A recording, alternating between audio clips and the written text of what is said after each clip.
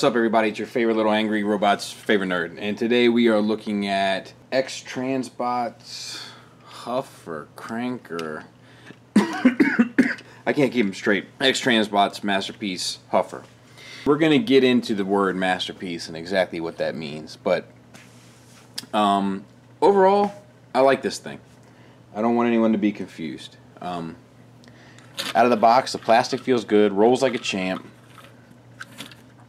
Um, nice chrome. There's some problems that that causes. Uh, it's kind of lacking in the paint department, uh, but you know it's not it's not bad. I, I like it. I like it a lot actually. And the more I mess with it, the more I like it. Do I have some complaints? Absolutely. Will I get into those? Absolutely. But overall, I like him. Let's do some size comparisons real quick. This is the uh, iGear Huffer. Um, kind of goofy now, but you know, in its day, this is a solid little unit. Um, mine's reproed up, so that's pretty. We'll get into that, I guess, later on too. A lot of my G1 stuff uh, is lost. I have some theories about where it went, but I don't know where it is right now. And I lost my Huffer, but I do still have stacks, and there he is. So, to give you an idea. Right? Alright. And I guess up there in a deluxe here is uh, Bumblebee, just because I'm tired of using Scoop. So, I like the orange on this guy. Um, Bumblebee took a took a drop. Couldn't happen to a worse toy. Anyway, um, you know, there's some nice things about this man. Um, X Transbots has a pretty sketchy history, but there are some really nice things, and there are some really obnoxious things. Uh, this these chrome little plug-in bits are one of them. It came with a bio card. There it is, a bio card, and then one, two, three, four chrome bits that you had to plug in. And the chrome bits suffer from the same problems that chrome bits suffers all the time, which is they mold the plastic for the plastic bit, then they add the chrome. That increases the diameter of the plastic, and then it has a harder time fitting into where it's supposed to go. So that is one of the complaints. Um, we'll talk more about the chrome and its effects on this toy, but like there's a you know, there's some detailing down there, and you know, it needs rep labels. Turbo written in cursive there on the the front bit. There's some really nice. I, I like the, you know, I, I, like those lights. Um, there's some really nice detailing. There's uh, the wrench. Uh, you know, pe people were talking about. I'm not sure if that's showing up. Right there, like somebody left it while they were working on the on the truck. There's a, some really nice details. This got, a, I think, a bad reputation. Um, out the box because I think a lot of people went with uh, Cubex or whatever, and then that had its own set of problems. I haven't messed with that, so I'm not going to pass judgment on it. But I, I, chose to go this route for for a number of different reasons, and, and we can get into that too. But I went with them because they do have a bit of a history. It's not their first time out the gate, where Cubex kind of seemed like it was their first time out the gate, and I went with them also because their pictures looked more finished initially, whereas Cubex's pictures um, kind of looked a little rushed and it just made me nervous. I understand why they did it, but it just made me a little nervous. And then I had some head sculpts, and it, you know, it was six of one, half a dozen the other. I really feel like at the end, me and T2RX6 went back and forth on this, but um, you know, I, I, made the decision I made, and I, and I'm okay with my decision. I'm I'm content. One thing I will say, like right out of the gate, like when you get them out of the box, the the plastic does strike you as being better than you would have expected, or I would have expected. Um, but like the cab plastic does feel different than the leg plastic, which feels a little bit more solid. Also, I would have liked it if something stabilized um, the torso here, because when you're messing with it in truck mode, it has a tendency to kind of move about. Not crazy, you know, but it has, you know, get you that, like it's got hydraulics or something, and, um, you know, it's just, I don't know. It needs some repro labels, you know, or some paint, like the tail, the, the, the, tire flaps and stuff like that could use some paint and door handle and stuff like that. And that's kind of, you know, what we, what I'm talking about when we need to really define the term masterpiece. Because that's what they use to promote this unit. And I'm not sure it's that. It's masterpiece scale, but I'm not sure it's a masterpiece. You know, Fans Toys Quakewave is a masterpiece. This one is masterpiece scaled, but I'm not sure if I would feel if I made this. I'm not sure if I would feel comfortable calling it a masterpiece.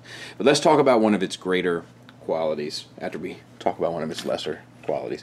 The uh, the chrome weapons plug in here and here, and has the same chrome problems where they judged the chrome uh, where it plugs in is right there and right there, and they measured those holes for um, the plastic and not for the plastic with a layer of chrome on them. So we're going to remove them. We're going to set them to the side. They, they, the accessories themselves are they're pretty well detailed. I mean, they're chrome, so there's no accents or anything on them. But there's a, there's a fair amount of line work. They're, they're identical, um, so it shouldn't make a difference which one goes where. One of the things that sold me on this early on was that you could connect Huffer to the trailer of MP10 like in the one episode where uh, Megatron kicked the snot out of Optimus in G1. And you can see it gets full articulation on it. So it's, it's really, you know, it's, I don't know, it scratches that nostalgic itch we always talk about. And that's a, that's a nice touch. And, you know, the only thing is that, like, you know, I mean, the, the real thing is all they had to do was put the two ports in there and they could do it. But, you know, they gave the clearance and everything. They you know, I think they really took it into consideration. I get that. I get that. I get that. So let's get this thing transformed, shall we? And what I suggest, i have got a lot of things on my mind to talk about with this, so I'm trying not to forget any. But what I suggest is that un, unpeg the uh, the legs there, slide them down, stiff, tight joint. I like it. Fix the feet that are on ball joints at the ankles. Tilt these bits around. Now the clearance for this, it does get, as a point where it gives, like, you know, almost makes you feel a little nervous at first, but it doesn't seem to harm anything. Um, fix that, that foot there. These tires, which is kind of cool, I think, they're on a sliding slot. Um, so you can turn them around this way, and then this one's really tight, and then slide it forward. So turn around. That one's a little bit smoother. Slide it forward. And that is the legs. Up here is where it gets a little bit more complicated and a little bit more touch and go. Okay, so tuck these bits around there's a battery and then the fuel tank. And the fuel tank is so tight and it's on smaller piece of plastic there and I just feel like it's going to snap. But it's not and I've done it a few times now and it, it's holding up fine. Um, this whole back piece slides out. Okay. And then lifts up like that. And then you pull the whole front down. And then you can pull his arms out. right? Once you get him to this point, you close these little caps here, which also is on a small piece of plastic and does make me a little nervous. Turn the head around. Now, mine, they come in the box in vehicle mode. My head was facing forwards, but then you see it in the truck mode, so, you know, if you can make a little change to hide it, why not do it? And then here, you simply push these in, and they will give at a certain point. And that's a really tight tolerance and it, it's not a smooth one, I can tell you. Close that up and give it the space it needs. And this one, there, that, that one actually has a little bit more to go usually. That's the second or third time I've had that issue. And then these two clips, these blue clips, hold on to the inside of the uh, the wheel well, I guess. And there you go. He's ready. Ready for action. Good God almighty, what is that hanging off your back, boy? That is a huge backpack. Now, it's kind of G1 accurate at the same time, so it's like it's saving grace, but great, mooga. The rest of it cleans up pretty nicely, though. Um, you saw how simple the transformation was, though, and it's super simple transformation. Doesn't give it that masterpiece vibe.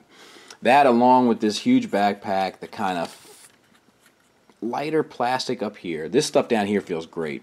But the lighter stuff up here, the chrome not fitting together quite right, stuff like that, it just doesn't feel masterpiece. You know, it feels good. Like I am happy with this guy. I can't wait to get him on my shelf. I can't wait to stop this video and get him on my shelf. Seriously, I love him. I, am and the more I mess with him, the more I'm liking him. Does he feel like a masterpiece? No. Does this huge gap in there? See my opinion? Does that gap feel like a masterpiece? Nah.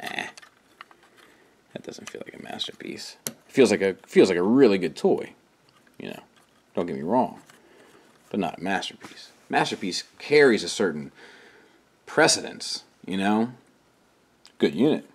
Should call it that. Good unit Huff or good unit Krank or whatever its name is. Good unit, not Huffer. I hate that terminology, by the way. Not such and such. Yes, it is. It's definitely Huffer. You know, it's. I'm sorry. I just I can't. I gotta keep. I gotta keep discussing it. You know, is the problem is that you say masterpiece, it's going to carry an expectation. It's like this. You want some breakfast? That sounds awesome. So, so this is breakfast, huh? What did you expect? I don't know. Usually breakfast has like a meat, maybe an egg. You didn't even put any milk in it? Right? So obviously I had something different in mind. But I had a little bit something different in mind here too. Doesn't mean that I'm not happy with my purchase. Um, now mine's 70 bucks and I think that uh, I think that if you got this puppy for 50 you got a really good toy on your hands, a really good $50 toy. 70 I feel like, you know, all right, fair enough. Um, but whatever. Let's talk art articulation. Head is on a ball joint, not a whole lot of down, but you get a lot of left and right, and you get a lot of up, you know. Shoulders hinge here, so you get a little bit of a butterfly, and you got a ball joint at the shoulder, so a lot of ball joints, you know, I'm not a big fan of that double jointed elbows for transformation, but still good. Bicep swivel. It's on that chrome though. Now people have been complaining about their chrome chipping, and like I got a little bit up in there. You can see, um, but it doesn't seem to be getting any worse. Swivel for a wrist and hinged hand. Same on the other side. Waist you got a swivel but you can't get all the way around because of the battery and the uh, and the fuel tank. Uh, I guess you could maybe adjust them and let me try. So you could adjust them like this but then what are you, then what are you going to do with it afterwards? You know, I, I don't know if it's that important. Um, hips are on a universal joint that's not the tightest universal joint I've ever seen not terrible not hateful by any means but not the tightest and then it swivels at the thigh Knee has a hinge, um, but that's all the articulation you get out of that, not even 90 degrees, which is kind of a disappointment. And then ankle tilts for the foot. Now, one of the bonuses with that huge backpack, um, it's not really the backpack's bonus, I'm not giving the backpack any credit, mind you, is that he comes with these huge heel spurs. So there's really no fear of him falling down. The weapons actually the one part that they tab into nicely is the hand. Um, you know, and I'd rather it tab in nicely to the hand. I'd rather tab in nicely to everything. I paid seventy dollars for it, um, but I'd rather it tab in nicely to the hand tab in nicely to the truck. So, yeah, there he is. So here he is with uh, iGear Huffer. The color is more right on this Huffer, I feel like. This Huffer, uh, he was one of my first third-party toys, so I took a lot of pride in him. He's reproed up, and he stood on my Masterpiece shelf, and I know before you dorks start getting out of hand, he's not intended for the Masterpiece, he's intended for the classics. I get it, alright? He was just on my shelf as a placeholder, because I, I, I liked him a lot when I first got him, alright? Take it easy. But, you know, he, he won't be up there anymore. This guy will be taking his spot, because he has a pretty good figure you know, what G1 Huffer would have looked like, you know. But yeah, you know, he, he sizes up nicely. There, just for good measure, I use Brawn. So, you know, the down and dirty of it is what I recommend him. I'd say 50 bucks, pick him up. Um, 60 bucks, you won't be disappointed. 70 bucks, you'll feel like you have mixed feelings. I don't know. I think even retails at 80. I got him for 70 because I got the him and uh, pipes together, Stax, or whatever they're calling them. I got him together, and I'll be doing him next. It'll be a smaller review because same thing over and over again. But uh, the joints are tight, sculpt is good, half the plastic is great, the other half is acceptable. The chrome looks great, but has chrome issues. It's in desperate need of repro labels. But even with that being said, there's some really nice accents. Like I don't know if you can pick up that blue in his eyes, but it looks really good, and the metallic paint on his face looks great as well. So there are a lot of little bonuses, and then there are a lot of things you wish were done just to taste better. Overall, I'm happy with my purchase, but $50 might be the nice threshold for this unit. I think it's that backpack. I get it. What else are they gonna do? But you know what I say? They put a man on the moon. They should be able to figure out a backpack. It's not a masterpiece, but it's a really nice toy. I will see you Friday with uh, pipes. Uh, thanks for listening. Thanks for watching. Until next time, take care.